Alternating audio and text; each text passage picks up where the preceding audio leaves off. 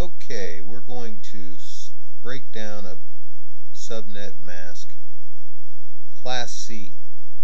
To make it very simple, basically what I did is I set up eight dots to represent the eight bits, eight bits in this last number. Each one of these numbers has eight bits. To get 255, we have eight ones. If each one of these are ones, if you add these numbers up, you'll see they equal 255. That means each one of these bits have a 1.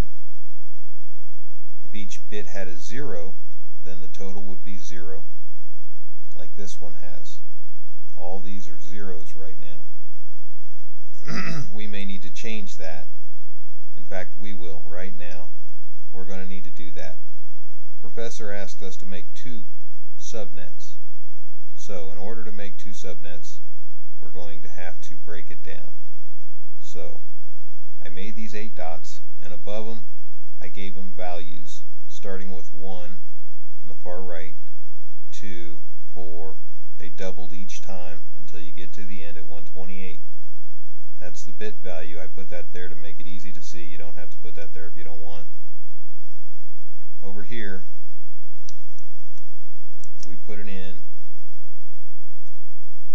This is our networks. And we're going to start here counting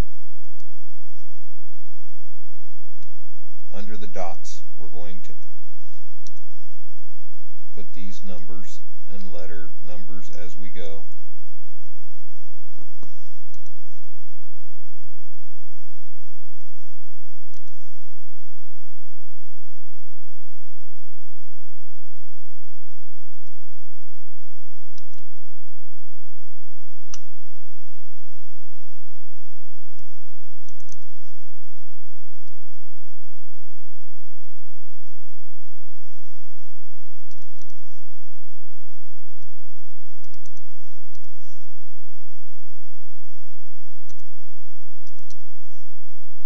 These are a little messy. I'm going to move them around a little bit real quick.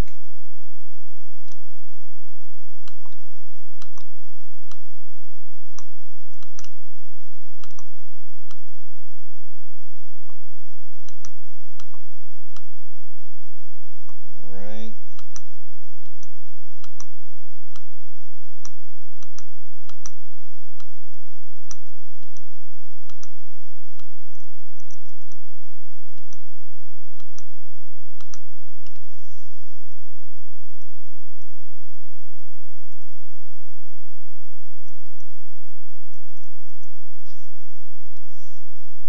Okay. And this is our networks, possible networks. And here are possible hosts. And they're going to be exactly the same, just in the opposite route. That's going to be 256, 128, 64, 32, etc., etc.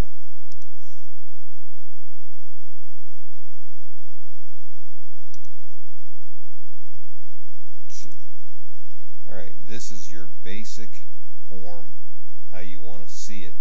When you're sitting at the at the desk ready to do your test. You want to write this on the piece of paper, it makes it a lot easier. It's pretty simple. You're just going to put the dots up here. Once you've laid out the dots, you know you need to start over here with dot on the right, number 1, and double them all the way down to 128. Once you've done that, you put your N over here and count to the right, doubling each one. And then the H is for hosts, and you're going to do the same down here, and you can see that they're just the opposite. Once you've done that, you've set up your situation and you can make your decisions. Professor in the earlier example asks for two networks.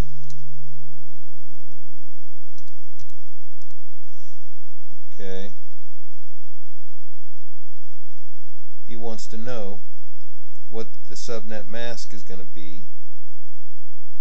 He also wants to know how many of these bits we're going to have to borrow and he's going to he wants to know how many are left. Well, if you borrow 2 then of course there's going to be six left. If you borrow three there's going to be five left. There's eight. So whatever you borrow if you borrow five there's going to be three left. That's just the way it is and that way you'll know whatever you borrow you just the rest added up to eight. Okay the next thing you want to do he tells you you want two networks. The next thing you want to do is go over here to the N and say, I need two networks. The N's going to say, okay, go to the right and find two networks. And you go to the right and you find two networks. Wait a minute, the N says, wait a minute, don't forget, take away two. N says take away two. What's that? Yeah, take away two. Always remember that, huh? And take away 2 for the H2. We'll have to remember that. So if we have n take away 2 and we want to get two networks, that won't do. 4 will. Because 4 take away 2 is going to equal 2, and he wants two networks. So n says take away 2 and then you'll get how many networks you want. So professor tells us, let me slide this up a little bit and get it in line.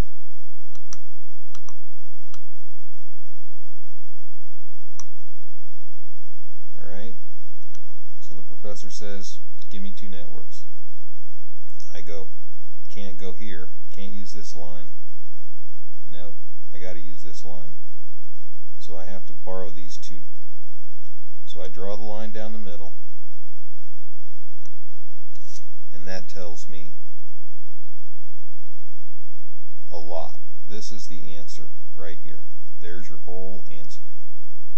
It's telling me how many networks I can have. And it's telling me how many hosts I'm going to get. Okay? This is the most important part too it's also telling me what my magic number is. Magic number is 64. In this situation, he's asking for two networks. These are the things I need to know. These are the only things I need to know. Okay?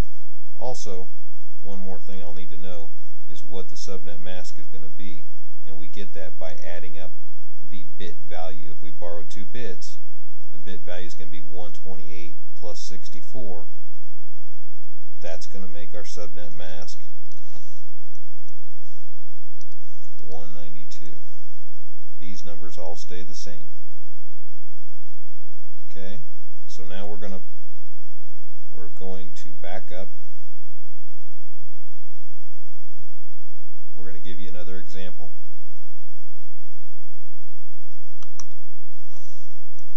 The teacher asks for six networks.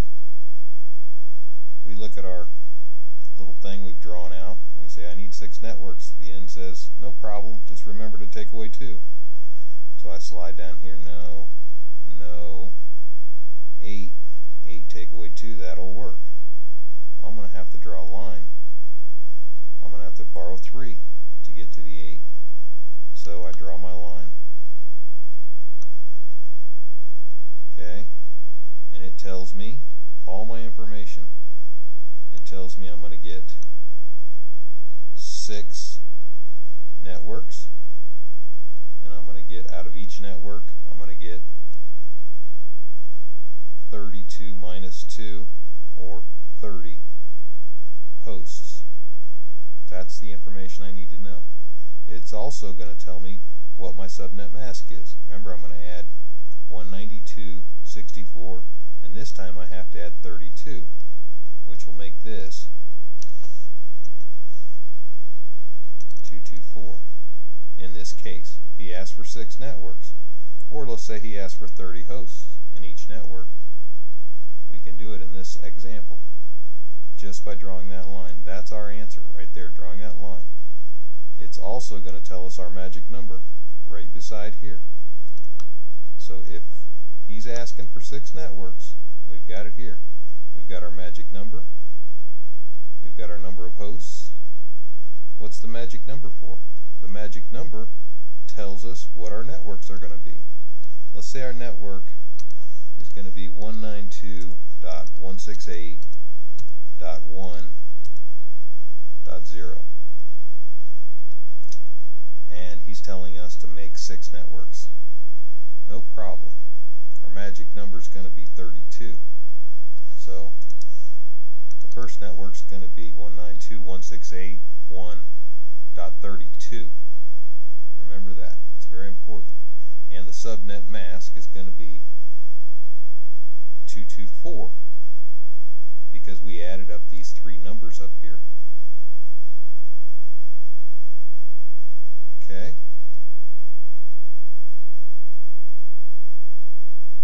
Now let's let's maybe he might ask for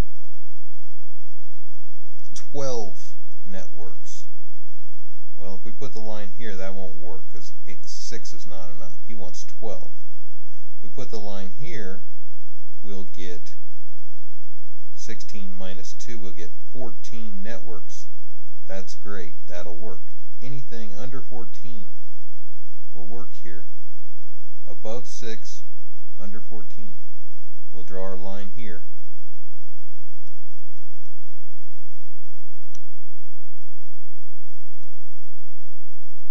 Once we've drawn our line, we get our magic number. We get our number of networks, and we get our number of hosts. Remember, these are takeaway 2. So if he tells me he wants 14 networks, no problem. Here's my example for 14 networks. He says I want 14 hosts, no problem. Here's my example for 14 hosts. My magic number 16.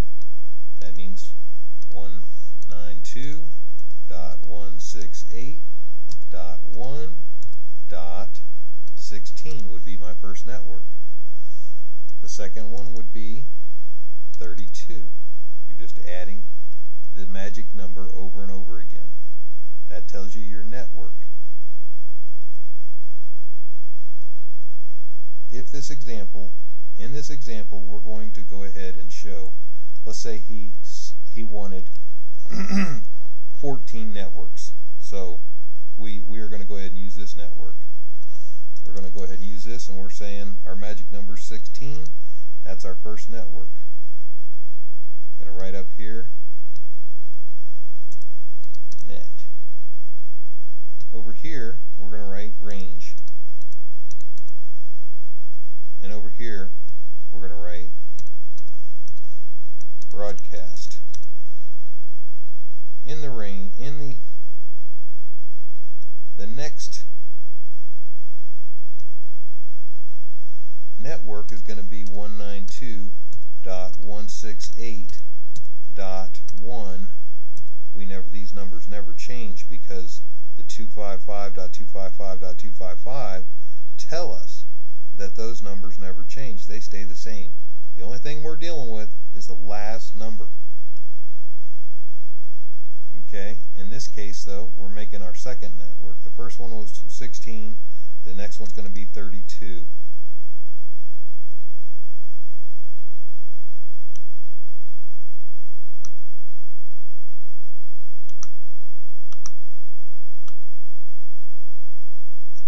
subnet mask over here.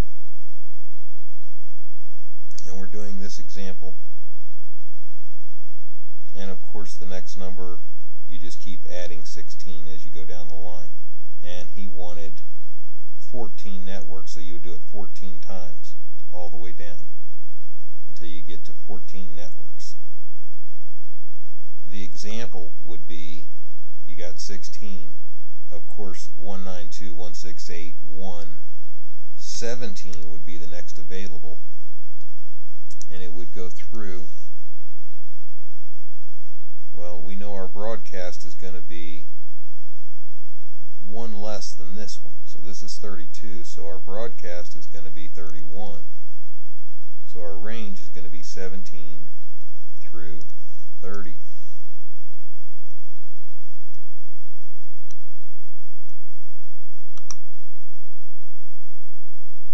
And of course that example continues.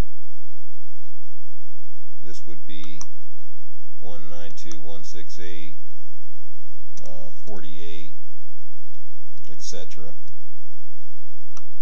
etc., etc. And if that's 48, then the broadcast would be 47,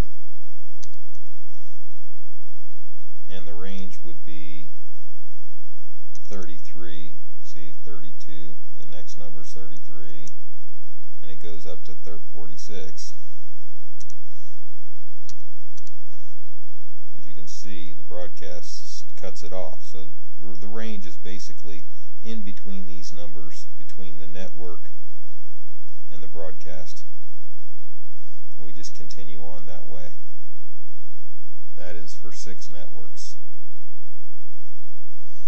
Six, I'm sorry, that is for 14 net, up to 14 networks. Greater than 6, 14 or less. That is our total. And remember, now that we've we've decided to choose this as an, our, our example, we need to add these up. 128, this is 224, and this is 240. So if in this example we've broken up our network like this with 16s, this is going to be, this is last number here, is going to be 240.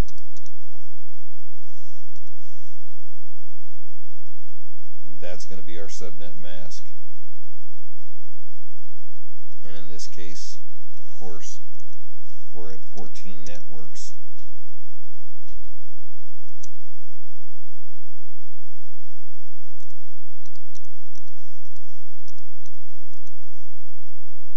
Fourteen networks.